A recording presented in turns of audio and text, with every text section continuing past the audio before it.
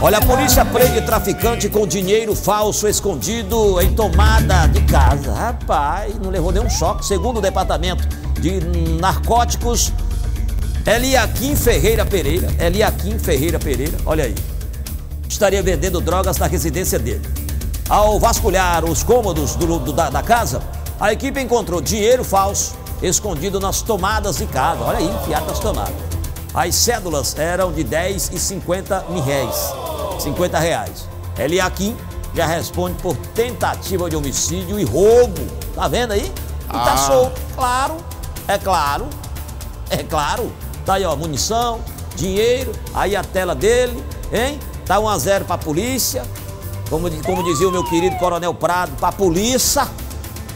Tá 1 a 0 pra polícia. Ah, né? Tá preso. Aí a polícia chegou, ele tentou correr, aí não deu.